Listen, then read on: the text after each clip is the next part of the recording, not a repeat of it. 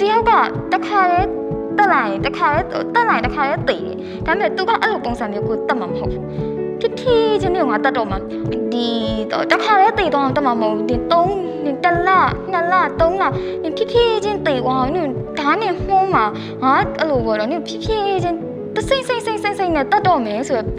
အထီကို तू ချင်းချောက်ခဲ့တယ်ပေါ့နော်ကျမတို့အလားတူခံစားခဲ့ရတဲ့ကလေးလေးရှိကောင်းရှိနိုင်တယ်အဲယောက်ျားလေးမိန်းကလေးလေးလေးပေါ့အဲ့လူတွေကိုဒီမှာပြောချင်တာတော့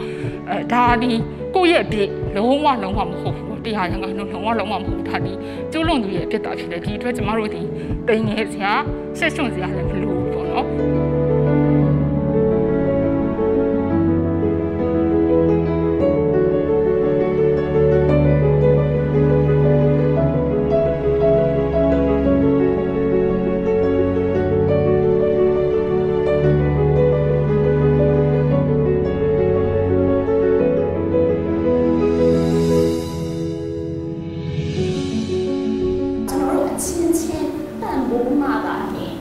ကျွန်တော်တို့ကကျွန်တော်တို့ဖြစ်လာတဲ့အခက်အခဲတွေကိုကျွန်တော်တို့ကြော်ပွားနိုင်မှာပါ။